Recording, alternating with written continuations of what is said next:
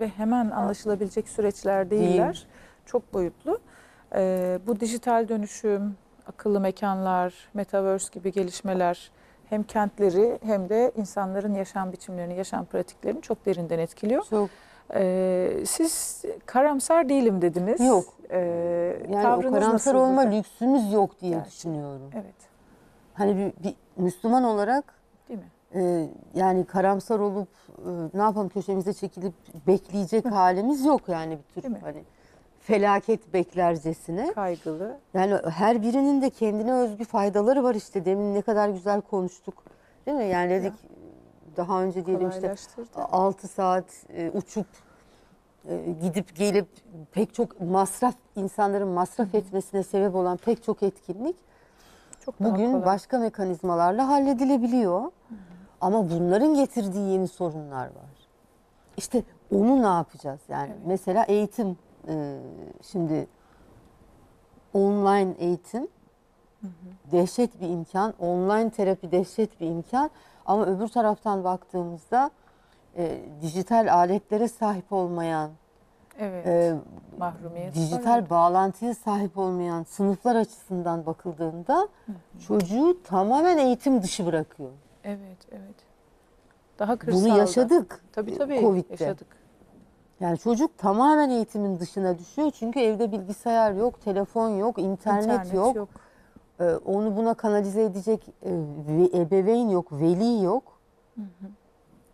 Bu yani derin yoksulluk yaşayan gruplarda eğitimsizlik yahut da e, diyelim ücra bir köyümüzde e, dağlık bir bölgedeki ücra bir köyümüzde yaşayan üniversite talebesi çocuk ne yapacak? Yani kolaylık getiriyor E, ama öbür taraftan yine biz sınıf e, sal eşitsizlikleri de artırma e, riskini beraberinde getiren bir süreç. Yani biz bunları şimdi hepsini gözet, gözeterek alternatifler üzerine düşünmek zorundayız. Covid bize şunu gösterdi. Yani iyi sandığımız şeylerin nerede teklediğini gösterdi. Evet. Denendi. Mesela kadın meselesi. Evet. Mesela evet bu çok güzel ama evden online bile olsa e, iş yapmak zorunda kalan kadınların erkeklere kıyasla ne kadar daha mağdur olduğunu gördük. Kesinlikle, kesinlikle. Yani Hazır toplumsal evdesin. cinsiyet tartışması buraya yansıdı. Tabii tabii. Görünmeyen bir şey genelde de. Hazır evdesin bak işin kolaylaştı. Sabah akşam yol çekmeyeceksin. Evinin konforunda çalışacaksın. E Ama hazır evdesin diye arada da molada da dinlenemiyor. Evle ilgileniyor, yemek pişiriyor, çocuğuyla Tabii ilgileniyor. ki çocukla mesela e, Daha fazla. şeyler vardı bu e, yabancı e, medyaların, uluslararası medyaların gösterdiği bir şey. Mesela anne de evde çalışıyor, baba da evde çalışıyor. Anne sürekli çocuğun peşinde koşturuyor. Evet. Bir taraftan işini yapmaya çalışıyor. Orada online bağlıyken e, çocuğu işte lavaboya götürüyor. Onu yapıyor, bunu yapıyor. Mesela baba hiç yerinden kıpırdamayıp iş görüşmesini bitiriyor. Ya. Yani dolayısıyla online evet ama burada mesela bütün toplumsal eşitsizlikler Yeniden e, üretildi. onun içine sızıyor. Orada kendini yeniden üretiyor. Evet. E, e, dolayısıyla o zaman biz bunu tartışmak zorundayız. Yani e, yaşa göre mesela ileri yaştakiler bu tür teknolojileri kullanmakta daha mı e, başarısız? Mesela bazı araştırmalar gösterdi ki e, yaşlı kadınlar sosyal medyayı kendi gün e, Şerif Esendemir'in bir çalışması vardı Covid zamanında yaptığı. E, kadınlar kendi günlerini sosyal medyaya taşıyıp hiç de tahmin edildiği gibi en depresif grup olmamışlar. Evet, evet, evet. Hayata bağlayan bir şey oldu sosyal medya onları. Yani mesela hani dolayısıyla böyle topyekun işte sosyal medya kötü veya e, hani bu tür teknolojiler illaki bize zarar verecek diye bir şey yok ama doğru yerinde iyi analiz edilmiş e, olduktan sonra ve bu problemler ortadan kaldırılma yönünde sürekli girişimlerle birlikte Evet. olursa diye ben düşünüyorum. Evet. Çok ciddi bir uyanıklık, farkındalık, bir teyakkuzla birlikte o zaman. kullanmak gerek. Hani yeni teknoloji. Yani evet. Bunun Çünkü- daha iyisi çıktı. Hemen onu alayım. Bir dakika tamam.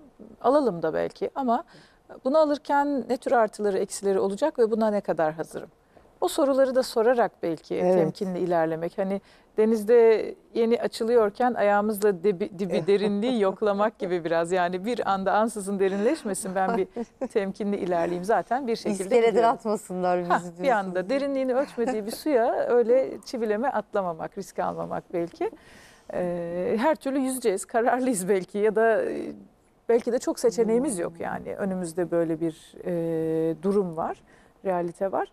Ne getirir ne götürür ve buna ne kadar hazırlıklıyım, e, defektlerini, sorunlarını ne kadar çözebilecek mekanizmalar üreti, üretebilirim diye de kendimize Evet. sormak lazım. Yani kadını eve koyup evet evden çalış ve ne halin varsa gör artık halledersin mi demeliyiz. Yok tabii Yoksa onu kafa diyemiyoruz işte. gerek. Onu diyemiyoruz işte. Çünkü biliyoruz ki onun orada sorunları var yani. Hatta işte şey de çıktı ya ailelerin aynı anda herkesin Evde olması. 24 saat evde olmasının mesela e, şu an boşanmalardaki artışla yakından ilgili olduğuna dair bir takım analizler var. Evet. Çünkü fazla Yani- sürtüşme ne getirir fizikte? Ee, kıvılcım çıkmasını Evet, getirir, alevlenir. Ee, fazla sürtündü, Doğru fazla, maruz fazla kaldı bireyler. e, kimsenin boş zaman kullanamaması, kimsenin bireysel alan bireysel alan evet çok doğru. Evde sürekli insanlar var ama bizim yalnız kalmaya da kendimizle kalmaya da ihtiyacımız var. İnsan kendini de özler, kendiyle de baş başa kalmak bir ihtiyaçtır. Kendi içine bakmak, kendiyle dost olmak. O olamıyor. Sürekli birileri varken o olamıyor. O da temel bir ihtiyaçtı ve epey zorlananlar oldu. Özellikle içe dönük mizaçlı insanlar için çok çok zorlayıcıydı o süreç. Ee, dışa dönükler de dışarı çıkıp sosyalleşemedikleri için Ha, zorlandılar. evet onu diyecektim. Esas onlar için değil Çok. mi diyecektim. Onlar için dışarıya çıkamamak bir felaketti. İçe dönükler için de evde sürekli göz hapsinde olmak. Hadi gel yemek yiyelim, hadi gel bizle otur. Odanda ne yapıyorsun bu kadar saat denilip kendi başına vakit geçirememek de onlar için dramatik oldu. Hepimiz mağdur olduk yani bir şekilde. Peki değerli hocam, e, ülkemize de bir yandan kent deyince mutlaka konuşmak gerekir diye düşündüren meselelerden bir tanesi. Ciddi bir göçmen akını geldi ülkemize. Evet. Savaş sebebiyle Suriye'den, e, Yemen'den, Afganistan'dan kaçan mağdurlar, gelenler olduğu gibi sadece ekonomik sebeplerle gelenler de var. Türkiye Cumhuriyetlerden özellikle epeyce bir ciddi nüfus zaten öncesinde de vardı. Şu an biraz daha belki görünür olduğu Nijerya'dan, Afrika'dan, çeşitli ülkelerden çok ciddi bir göçmen nüfusumuz var ve gelmeye de devam ediyor. E, göçmenlerin kente etkileri sizce nasıl oldu? Bir entegrasyon mümkün olabildi mi? Yoksa e, olabiliyor mu, olabilecek mi ve bu bizi daha sizce nasıl etkileyecek? Öngörüleriniz nasıl? Ya aslında bence yani şu an sadece son dönemde e, gelen göçmenler açısından e, bakarsak biraz daha sanki bu meseleyi kendi başına izole etmiş olabiliriz. Hı. E, ben e, aslında hepimizin göçmen olduğu gerçeğinden ve noktasından e, başlamak istiyorum. Yani sonuçta 20 milyon e, gayri resmi nüfusu 20 milyon olan bir kentte oturuyoruz. Evet. Ve bunun e, ne kadarı hani Buralı. eski İstanbullu hani o İstanbul hanımefendisi, İstanbul beyefendisi, Yerlisi buranın. yerlisi e, dediğimiz nüfus bu 20 milyonun kaçta birine e, tekabül ediyor. Ha bir de yani onların da zaten e, nereden geldikleri sorusu e, soracak olursak eğer aslında hepimiz dalgalar halinde göçmendik. Önce gelen sonra gelene e, ne işin var burada diyor. Ne Ben önce geldim burası benim diyor. Ve onu sanki e, öteki, dışarıdaki, işte sonradan gelen ve bir sorun olan ve bana sorun çıkaran e, gibi algılıyor. Yani bizim açıkçası burada yani sadece akademik değil aynı zamanda akademik etik e, duruşumuz e, şu ya benim kendi adıma söylüyorum en azından. Yani biz hepimiz aslında farklı yerlerden geldik ve burada bir ortak bir hayatı yeniden üretmeye çalışıyoruz. Sonuçta e, herkes ekmeğinin derdinde. He- Herkes hayatını sürdürebilmeni bırakın ekmeğini ekmek de ikinci seviyede geliyor. Önce hayat hayatı idame ettirmekle alakalı bir şey. İki, e, ekonomik olarak kendini yeniden üretebilmekle alakalı bir şey. E 90'lara gittiğimizde mesela 90'lar göçünde de insanlar kendi hayatlarını bir şekilde ya zaten yerinden edilmişlerdi e, yahut da bir şekilde oradaki ateşten kendini kurtarabilmek için e, çoluğuyla çocuğuyla buraya gelmişti. E, ondan önceki Balkan göçleri, ondan önceki Kafkas göçleri, e, sonraki Bulgar göçleri yani hepsi bunların e, Hayatta bizi kalma oluşturan şeyler. Yani dolayısıyla biz aslında as- yani entegrasyon e, lafını da çok fazla sevmiyoruz. Birlikte yaşama pratiği demeyi daha fazla tercih ediyoruz. Ben gene o İslam kentine geri gitmek istiyorum. Aynı o İslam kentinde olduğu gibi. Yani e, farklı etnisiteden olanı asimile edip kendine benzetmeye çalışmıyordu. Farklı dinden olana illa benim dinimden olacaksın diye empoze etmiyordu. Yani onun kendisine saygı gösteriyordu ve ona bir yaşama alanı Var olma hakkına saygı gösteriyordu. Kendisi gibi olabilme. kendisi gibi olabilme. Yani dolayısıyla biz burada hani entegre ediyoruzdan çok birlikte nasıl yaşayabileceğimizin birbirimizi ötekileştirmeden birlikte nasıl yaşayabileceğimizin yollarını bulmaya çalışıyoruz. Aslında size gelmeden e, gündüz bu konuda benim e, e, çok sevdiğim bir doktor öğrencimin e, tez sunumu vardı. Ah. Yani doktor oldu. Fatma Kızılelmaz Düzce e, Üniversitesi'nde Hayırlı doktorasını olsun. tamamladı. Bugün e, bizim öğrenci arkadaşlarımıza kendi tezini sundu. Göçmenlerle alakalı. Hmm. Ee, inşallah bir gün belki o da sizin misafiriniz İnşallah, olup e, kendi deneyimlerini anlatır. O daha çok e, Iraklı, e, Suriyeli ve Afgan erkek göçmenlerin e, göç etmelerine Süreçleri. sebep olan faktörler, Hmm. göç süreçleri ve daha sonra buradaki deneyimleri Evet. ve bunlarla başa çıkma stratejileri üzerine Vay. E, bir tez yaptı. Yani tevafuk oldu. Evet. Gündüz bunu Evet. konuştuk, e, okulda bunları paylaştık. Sonra buraya geldik, e, göç konusu. E, çok acı hikayeler var. E, ciddi anlamda bir empati yokluğu var. Hı hı. E, bence ciddi anlamda e, köpürtülen bir göçmen karşıtlığı var. Var kesinlikle. Yani tabii biz sosyologlar olarak e, bunlara çok mesafeliyiz ve e, yani göçmen de bizim bir parçamız. E, dolayısıyla onlarla birlikte yaşamanın e, ve onların sorunlarını çözme konusunda onlara yardımcı olmanın yollarını bulmalıyız diye biz açıkçası düşünüyoruz.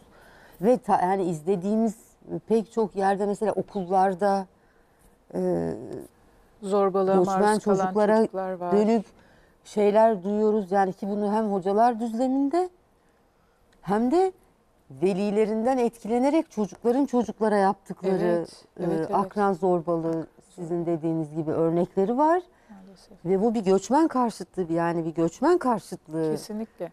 e, Medyada- sorumluluğu Medyada, sosyal çok- medyada e, çok ciddi göçmen karşıtı propaganda var. İki kişi kavga ediyor. Diyor ki yabancı uyruklu işte biri kavga etti. Ya yerli biri kavga ettiği zaman yerli biri, İstanbullu biri ya da İzmirli biri kavga etti demiyorsun. Bunun altını çizmek. Bak işte başımıza işte neler açtılar dercesine. Zaten bu yorumlar gecikmiyor Tabii. altına. Kasıtlı bir dil. E, sosyal medyada özellikle Twitter'da çok ciddi bir propaganda var. Sistematik olarak bunu yapan hemen Tabii, her tabii, gün tabii. bir takım suç unsurlarıyla ilişkilendirilerek evet haberlerde. kriminalize etme. Evet. Yani evet. suçlu ilan etme, kriminalize etme. Hani bu şeye benziyor işte kadın şoför mesela Kaza kaza, yaptı. yaptı. Hı hı. ya benziyor. Evet. Yani iki şoför şurada çarpıştı veya şöyle bir kaza oldu dememesi orada kadının şoförlük vasfını sorgulamak amacıyla onun altını çizmesi gibi Gibi. ki göçmenlerin hani karıştığı vaka oranı da Türklere nazaran, Türkiye'lilere nazaran çok daha az olmasına rağmen e, maalesef medyanın da yani sadece sosyal medyanın değil aynı zamanda geleneksel medyanın da bu konuda önemli bir rolü var. Evet maalesef. Çünkü ötekileştirici bir dil, e, ayrımcı bir dil kullanıyor ve yani bizim nefret suçu dediğimiz e, şeyleri tetikleyici Hı hı. maalesef e, müdahalelerde bulunmuş oluyor topluma. Hı hı. Yani bu konuda bi- bizim tavsiyemiz biz, ben ve öteki Hı. Bu e, kalıp yargılar, ön yargılar ve ayrımcılık nasıl nefret suçlarına yol açıyor ve biz bunu nasıl ortadan kaldırabiliriz? Evet. Ya bakın biz göçmen düşmanlığını da tek başına kendi içinde değerlendirmiyoruz. Bu cinsiyetçilik gibi bir şeydir. Evet, evet, evet. Ee, ırkçılıktır. Irkçılıkla ilintilidir. Irkçılık gibi bir şeydir. Ee, yaşlı düşmanlığı gibi bir şeydir. Evet, evet. Çocuk düşmanlığıyla e, ilintilidir. Ee, yani her tür e, izimle ilintilidir bu. İslamofobiyle gibidir. Evet. Yani nasıl lüzumsuz ve bir arka planı olmaksızın sadece Üretilmiş. Müslüman olduğu için onu ötekileştiriyorsa maalesef biz bugün görüyoruz ki sadece göçmen olduğu için tanımadığı, bilmediği karakter özellikleri hakkında hiçbir fikri olmayan bir kişi hakkında e, tamamen ötekileştirici bir haleti ruhiye e, sahip kalıp yargıları var, ön yargıları var. Ona ayrımcılık yapılmasını doğru buluyor, onaylıyor. İşte kız vermek istemiyor, kız almak istemiyor, birlikte Evet. yemek yemek istemiyor, aynı evde oturmak istemiyor, aynı mahallede olmak istemiyor.